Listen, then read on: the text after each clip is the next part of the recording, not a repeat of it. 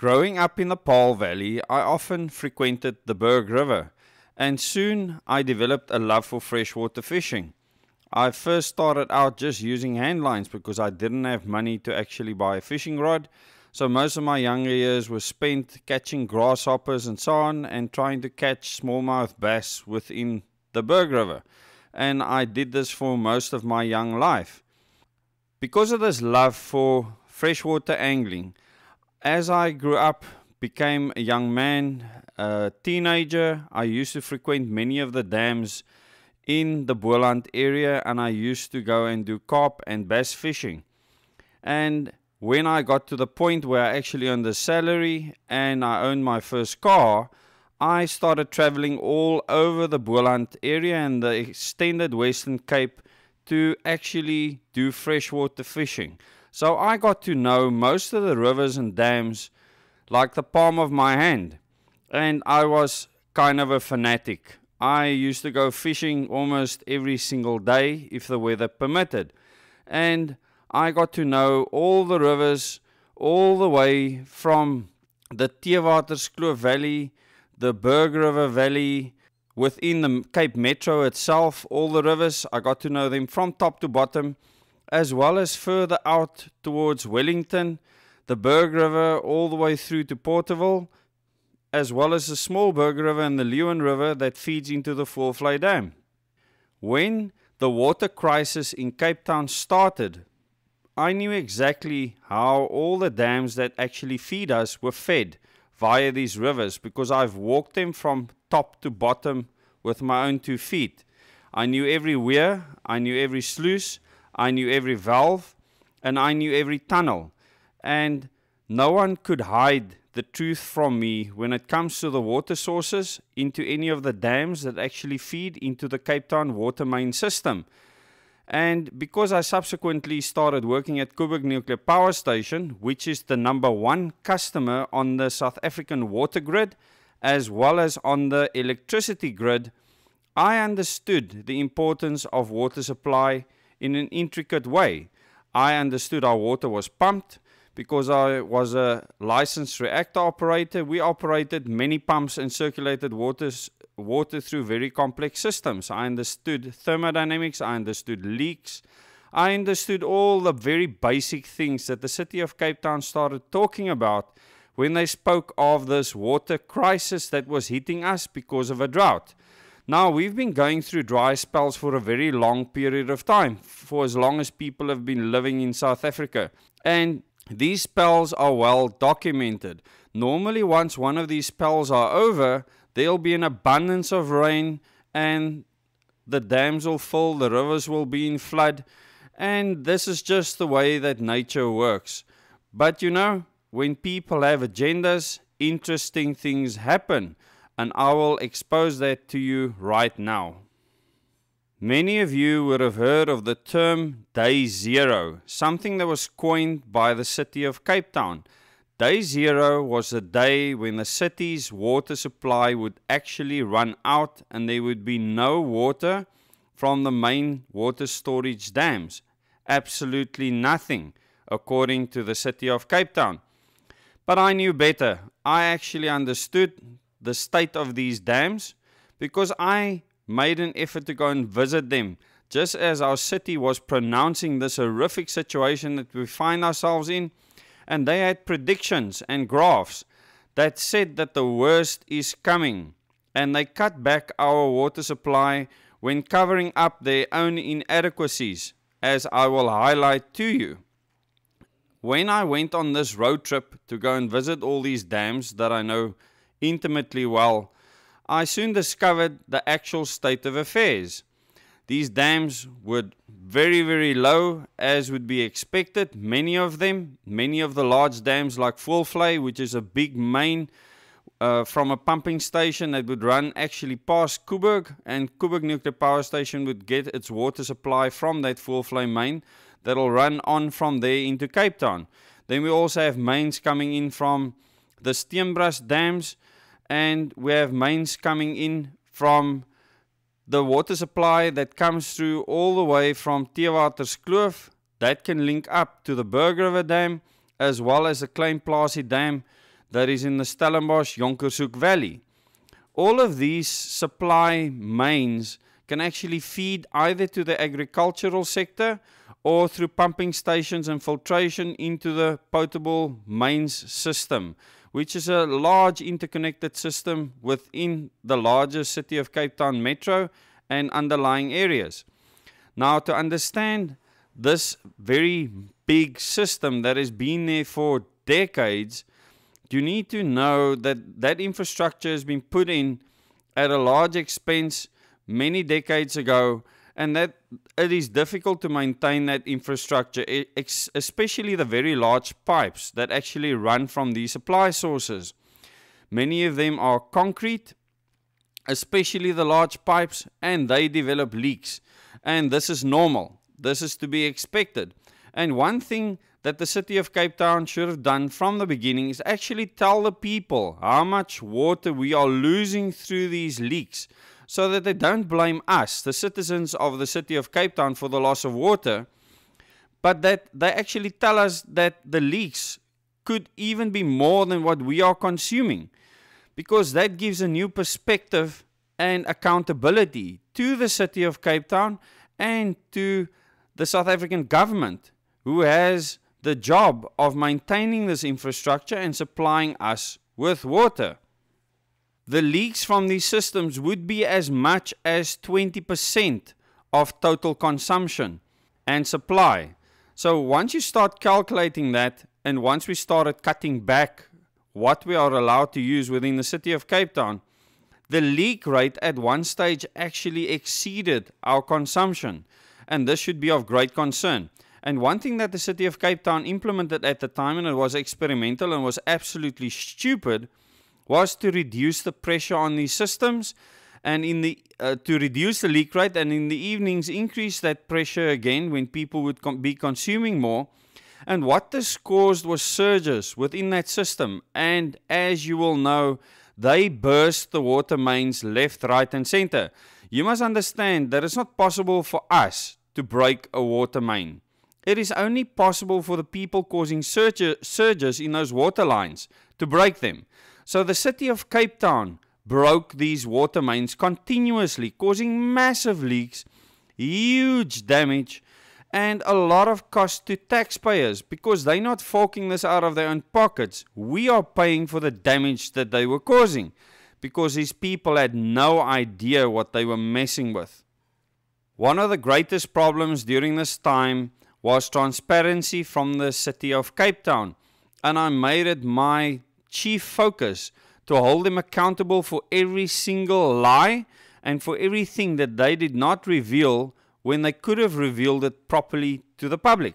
So, through this accountability system, they had to change the graphs that they provided us, they had to change the things that they put on the graphs because initially they did not add in the component that is called agriculture. In other words, water that was being supplied to farms for agricultural needs, often grape farms and fruit farms, when they are claiming that soon we're all going to be dying of a shortage of water. Now, I can imagine that most of you would think that humans' lives are more important than that of a grapevine. And that question was asked extensively at the time. And as I started unearthing all of these truths and putting it out in the public domain, the public started asking very important questions. And then the politicians have to start playing these semantic games because now they've been exposed. The truth is out there. The public knows that politicians are deciding uh, between donations coming from very rich farmers and the public that needs the water to actually stay alive. So, a very interesting dynamic started to emerge. All of a sudden, agricultural consumption was now a part of their graphs, and when Adam Spiers went out with his drone and filmed the sluice gates open at Theewaterskloof, sending out 6,000 liters a second downstream out of the dam when we're facing day zero, he opened up a can of worms that caused absolute havoc. And the Department of Water Affairs actually put out a statement that you can see right now to say that the farmers actually have an allocation that they can use and that that is still being supplied to them and to supply communities further downstream. But this doesn't stop me, now does it? I actually drove around, looked at the farm dams in the area, and got into contact with people at Witstrand to find out if this water is running into the sea. They could confirm this to me unemphatically, meaning that this water being released from the Theewaterskloof Dam was literally just running to the sea. That most of the farmers' dams were full that they had actually used up their allocation that was meant for end of April by February, which means that the allocation given to the citizens of the city of Cape Town, where the fear mongering was excessive, was not considered with regards to the allocation to the farmers, which was given to them two months before their allotted allocation was supposed to be finished. So they had their full allocations two months early. But not us. No, we were expected to shower with the amount of water that would make it difficult to cover your entire body and actually rinse off the dirt. That is what was expected of us. And when I exposed this, I obviously became very unpopular. And I think thanks Sandra Dixon from Stop City of Cape Town that worked with me on this. We communicated often. And she used the Facebook group and public profiles and meetings and speeches, even in the city of Cape Town, to expose what the city was doing. And we all need to give a big hand to Sandra Dixon from Stop City of Cape Town for her efforts in exposing what the city was doing at the time. So we had the citizens of Cape Town scraping by with a little bit of water that they're allowed to use, with this fearmongering, a new world order smart water meter system was forcibly rolled out that you were forced to pay for as well. I mean, to just add insult to injury. So now water meters were rolled out, they were electronic, that could shut off your water supply just at the click of a button. Think about that. Now things get interesting. When you actually see what happened to the Jojo tank business just a short while before this drought started, and this water crisis was created. Who do you think purchased the largest shares in the Jojo tank business? The Oppenheimers. Do they sound familiar? In the video I'll release later this evening, the Oppenheimers will be mentioned again.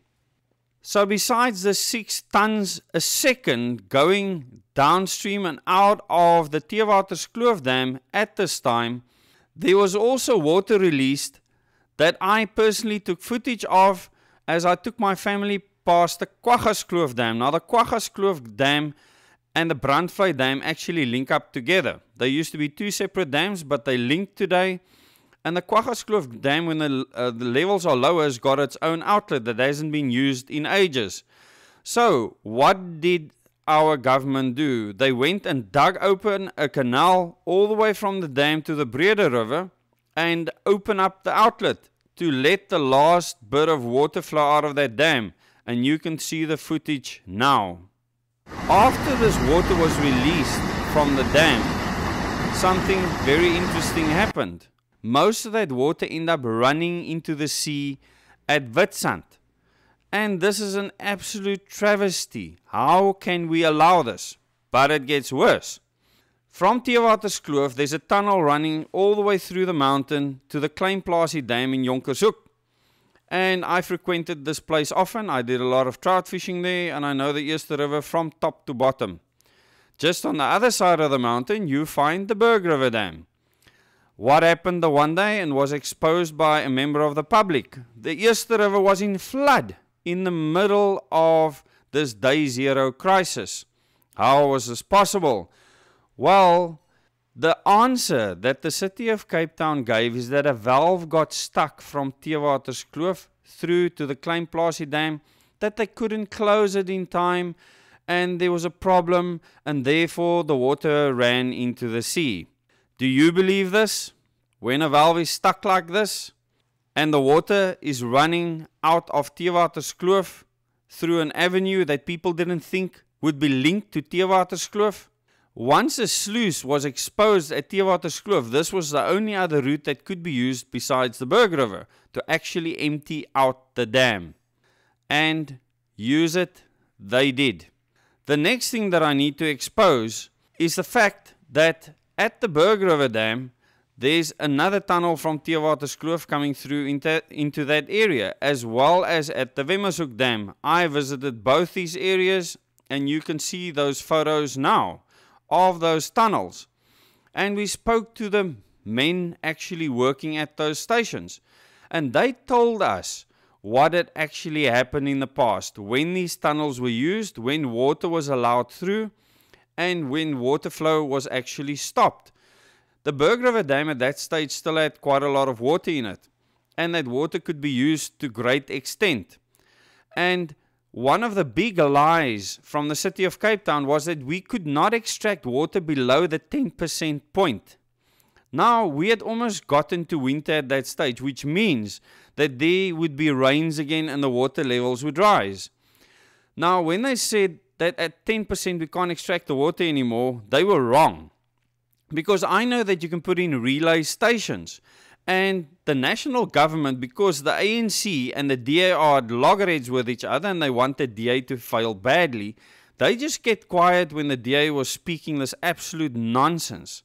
And when the time came and we got to below 10% at Theewaterskloof, all they did is built a dam at the pumping station and put up relay stations to pump water into there, which means that you can extract the water right down to the very bottom. And this is not rocket science, this is quite simple. And I actually said beforehand that that is exactly what would happen. And when this took place, there was egg on the city of Cape Town's face because this massive crisis that they had created and absolutely had people standing in these long queues panicking that they're not going to have water. It was all nonsense absolute nonsense because there were many ways that people would still be able to get water out of these dams.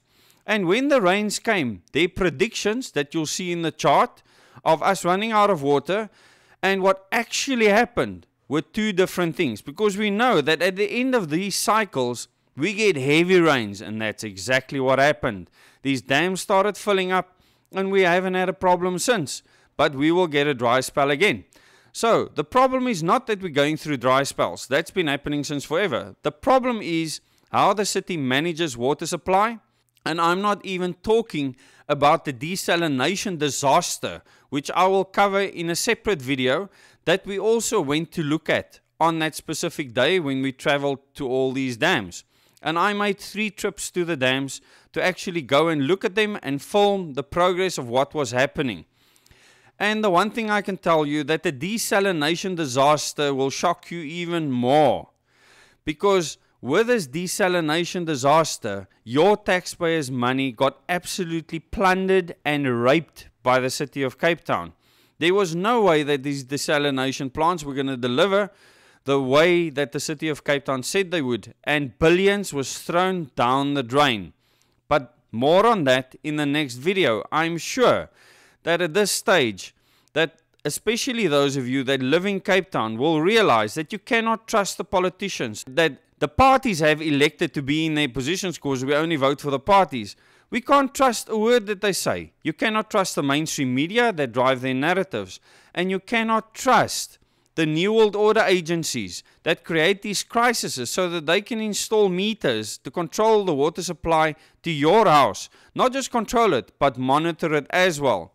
Please subscribe to this channel and click the bell icon so that you can receive notifications when a new video is uploaded. Please share this video with your friends and family.